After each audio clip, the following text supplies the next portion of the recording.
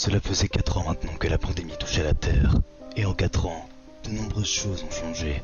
Les humains n'écoutèrent pas les mesures du confinement. Ils préféraient continuer à faire comme si de rien n'était. Grossière erreur. Beaucoup d'entre eux périrent. 99% de la population, pour être exact.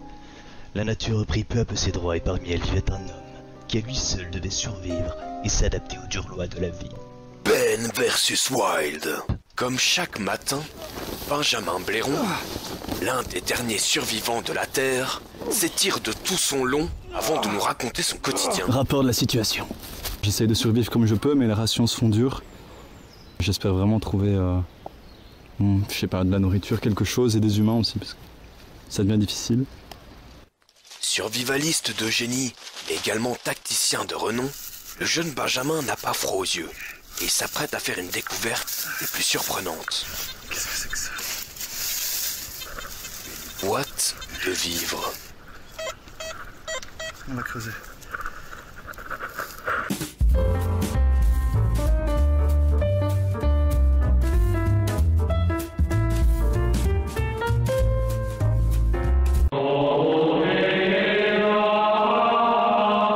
Mais le jeune Benjamin a plus d'un tour dans son sac. Arme à feu, visière de lynx, rien ne lui échappe.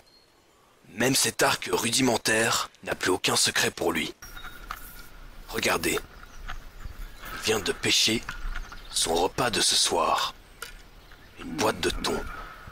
Un mets rare par les temps qui courent. Si Benjamin a réussi à dompter la faune et la flore, ce n'est pas uniquement grâce à son savoir. C'est également grâce à son moral d'acier.